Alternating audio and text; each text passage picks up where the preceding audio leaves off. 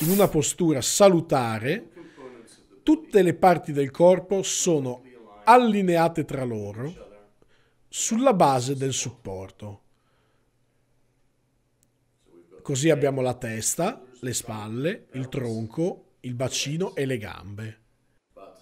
Ma con una postura scorretta, queste parti non sono allineate e iniziamo a compensare a causa della nostra postura scorretta. Mentre stiamo comunque in piedi, siamo inerentemente instabili e non appena si presenta un fattore esterno che si riflette sul corpo, può essere un aumento dello stress, una caduta o qualcosa che incide sul nostro equilibrio, abbiamo subito dei problemi. Avete visto un estratto dal videocorso iniziale Una postura sana per un sano movimento.